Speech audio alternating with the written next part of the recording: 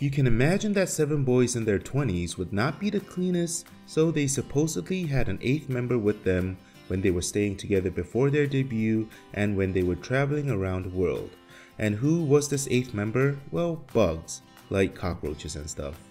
So a curious fan asked BTS who takes care of the bugs among the BTS members. Now, you all know that Jin is the oldest and Jungkook is the youngest.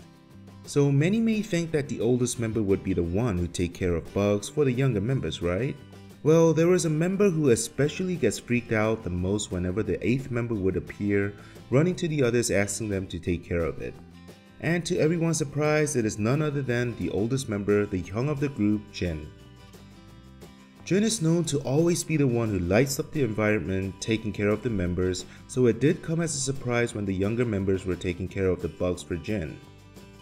So back to the question from the fan, Jimin replied by saying that the two youngest member, Jimin and Jungkook takes care of the bugs when needed, adding a roast to Jin saying that he made such a scene when they were in US when a cockroach appeared, where Jin immediately replied, Jimin, do you want to be slapped by a bug? I found this very funny and untrue since Jin would not be able to pick up a bug to hit Jimin in the first place.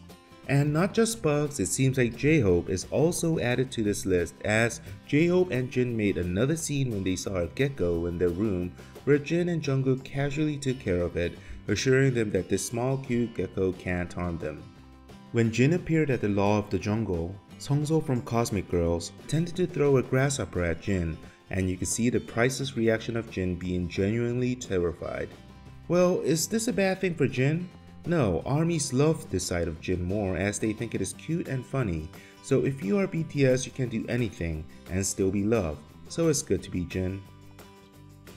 Well, if you like this video, check out this other video on J-Hope's reaction of him being called You Look Like BTS by clicking on the link on the screen.